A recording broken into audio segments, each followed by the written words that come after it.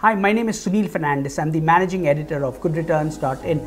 I'm here to talk to you on gold prices and tell you why gold prices uh, fell almost 1000 rupees today. It fell 1000 rupees both uh, for 22 and a little bit more for 24 carats. So gold had a serious knock today. It dropped almost 1000 rupees uh, at the local jeweler's shop. So let's tell you what uh, the some of the prices in the key cities of gold. Uh, Chennai today, the goodreturns.in website was quoting 47,550 per 10 grams for 22 carats.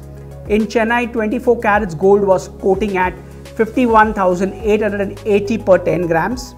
In Mumbai, 22 carats gold was 47,400 uh, per 10 grams and 24 carats was 51,710 per 10 grams.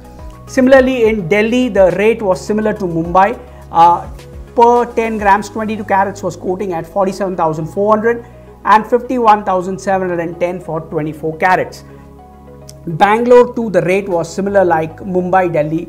Uh, so was the case with Calcutta. So broadly, 22 carats is trading at 47,400 per 10 grams and 24 carats at 51,710.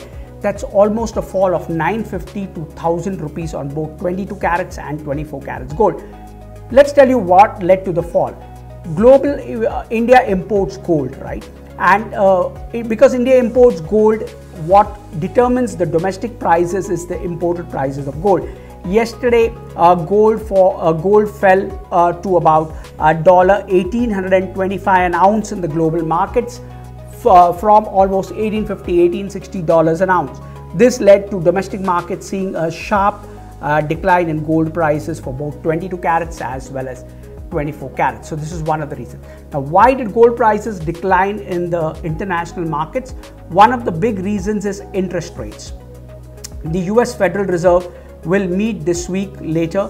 Uh, probably tomorrow there will be a decision on interest rates in the US. When interest rates go up, particularly in the US, gold prices tend to fall because investors move money from uh, gold to and move money to high yielding bonds because interest rates are going higher. This is one of the reasons why gold prices fell.